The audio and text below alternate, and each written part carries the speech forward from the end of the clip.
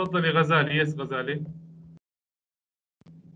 أستاذ there is a bone on the table table very good excellent. إذا there is a pen يوجد قلم on the table على آه، الطاولة. There is a pen on the table إذا يوجد قلم على الطاولة. طيب الجملة الثانية. Yes آه، نعم أستاذ.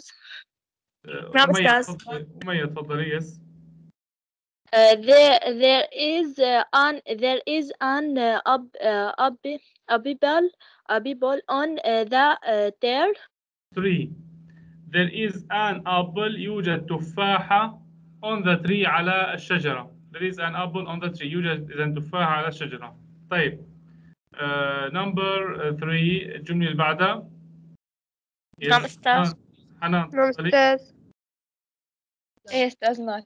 I like they read uh, b- uh, play ولا ليرة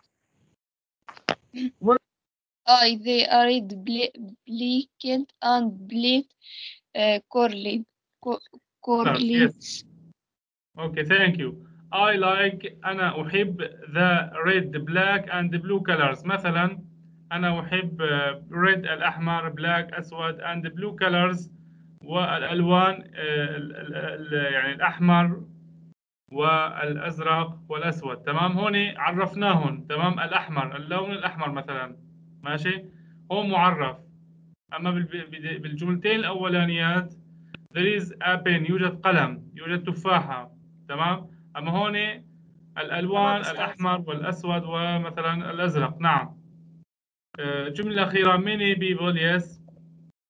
نعم أستاذ نعم أستاذ أنا بقرأها آه، نعم أستاذ أنا بقرأ إسام أستاذ أنا. Yes. تفضلي Many people uh, dri- drive very fast in sixth cities okay very good many people العديد من الناس drive very fast in cities آه، العديد من الناس drive يقودون very fast بسرعة جدا in cities في المدن طيب هون مع البيبل مع الناس استخدمنا نحن أداة نكرة شيء أو أداة معرفة؟ إذا؟ لا أستاذ أستاذ ما استخدمنا تماما. طيب. OK طيب. خلينا هلا نبدأ. هلا هذا هي أمثلة ما قبل ال- الشرح الدرس. OK ننتقل للدرس هلا تفصيل الدرس OK dear sirs ركزوا معي هلا طلابي. Articles الأدوات. في عندنا نحن بالنسبة للأدوات النكرة والمعرفة ثلاث أقسام. في عندنا indefinite articles أدوات نكرة اللي هي اداتان نكرة a, an أداة نكرة أو اداتان نكرة. في عندنا القسم الثاني definite article اللي هي the أداة المعرفة ال the يعني ال للتعريف في عندنا الحقل الثالث رح نحكي عنه هي no art- no article لا أداة صفر zero. لا أداة. يعني بعض الأسماء مو شرط أستخدم أنا أداة معرفه أو نكرة. بعض الأسماء لا لا تحتاج أن تستخدم معها آه، أدوات النكرة أو المعرفة. طيب. آه، بنفصل هلأ شوي بالنسبة للأدوات النكرة. Indefinite articles. أدوات النكرة. a, an اداتي النكره اذا باختصار هلأ أنا ملخص هيك آه، إنه تستخدمان مع الاسم الم- المفرد المعدود. لاحظوا اذا ال a ال a ال a تستخدم. نعم مع الاسم المفرد المعدود الذي يبدأ بحرف ساكن. مثال a cat مثلا قطة. a hat قبعة a pen قلم. هذا طبعا ال cat قطة مثلا. اسم مفرد معدود يعني قابل للجمع. تمام؟ يعني cat جمع cats قطط و hat قبعة آه، جمع hats آه، إلى آخره. pen pens. Okay معناته الاسم الغير معدود ما بصير يستخدم معه ال a وال an تمام؟ طيب الآن أيضا تستخدم مع الاسم المفرد المعدود الذي يبدأ بحرف صوتي. مثال آن أبل تفاحة آن إيج بيضة. تمام؟ تفاحة بيضة. إذا هاي أسماء طبعا مف- مفردة ومعدودة ولكن الفرق أنه الإي والآن آه يعني الآن تستخدم مع الأسماء اللي تبدأ تبدأ بحرف ساكن أما الآن مع الأسماء اللي تبدأ بحرف صوتي نفس القاعدة. طيب هذا الحكي آه كله تعرفوه تقريبا. الآن هلأ الشيء الجديد عليكم. نستخدمها أو استخدمها للمرة الأولى التي تذكر شيء ما. يعني مثلا أي اسم أنا بدي أذكر لأول مرة فبستخدم شو أداة نكرة مثلا I saw a man. I saw a man. أنا شاهدت رجلا. تمام؟ أول مرة بذكر هذا الاسم الرجل يعني فبستخدم معه أداة نكرة. تمام؟ I saw a man. شاهدت رجلا. رأيت رجلا.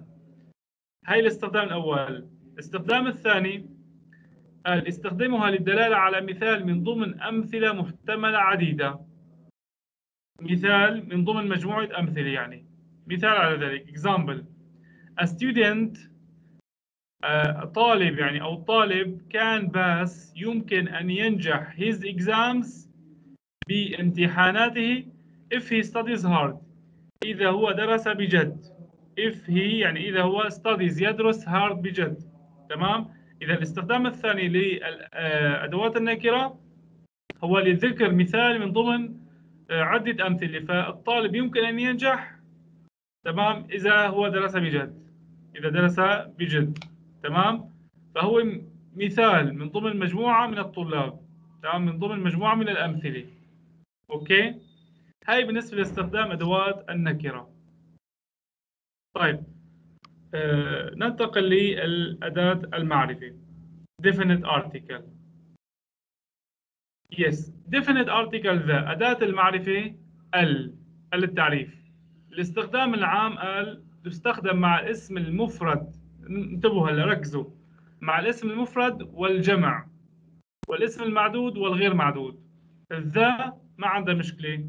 أما أدوات النكرة فقط مع الاسم المفرد المعدود. أما المع... أداة المعرفة تأتي مع المفرد والجمع والمعدود وغير المعدود. مثال the student الطالب.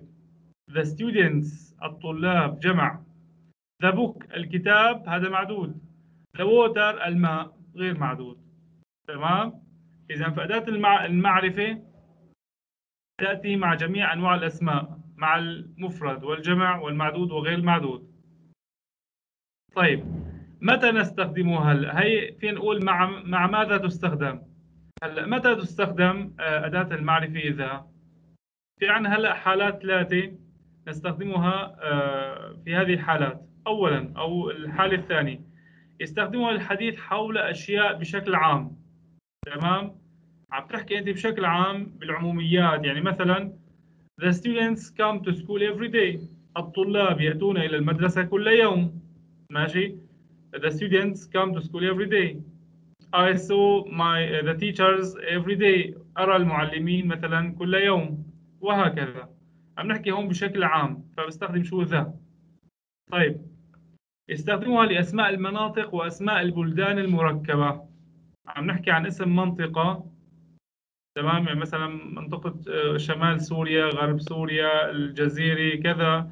فاسم منطقة. أو بلد مركب مثلا ال- ال- الجمهورية العربية السورية مثلا المملكة المتحدة وهكذا.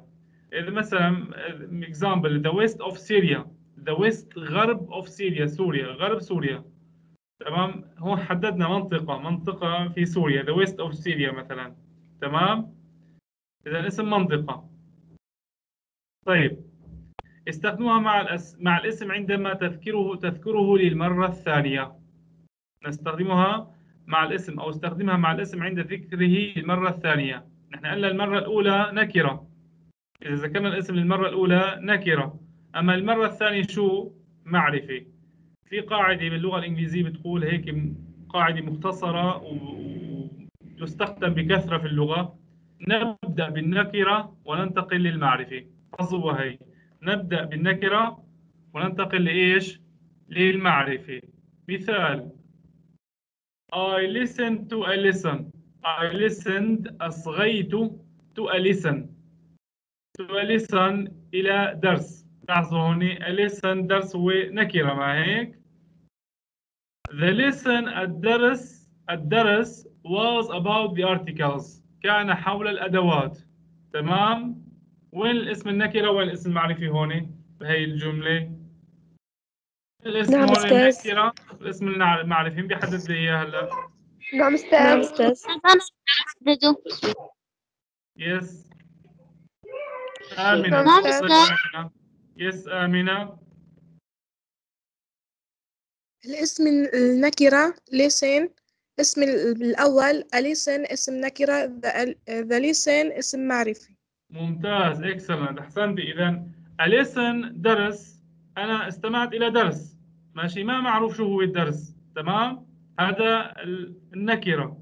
الحالة الثانية the lesson الدرس صار شو هون؟ معرفه أول مرة ذكرته نكرة. ال- رجع تكرر مرة ثانية الاسم. بس تكرر الاسم مرة ثانية صار شو معرفه الدرس was about the articles كان حول الأدوات. تمام؟ هي قاعدة كثير مشهورة باللغة الإنجليزية. Okay. طيب ننتقل للحالة الثالثة والأخيرة. درسنا.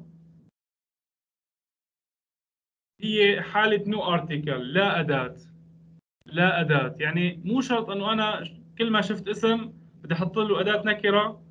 a أو an أو آه، أدوات مع أداة معرفة the. مو شرط مو شرط يعني. آه، إنه نحط للأسماء يعني هي أدوات نكرة أو معرفة آه، لا نستخدم أداة عند التكلم عن أشياء معروفة لدى جميع الناس. وقت اللي بدي أحكي عن شيء اسم معروف عند كل الناس ما في داعي أحط له أداة. أنتوا هلأ مطلوب منكم ثلاث كلمات. كصف تاسع مطلوب منكم فقط ثلاث كلمات.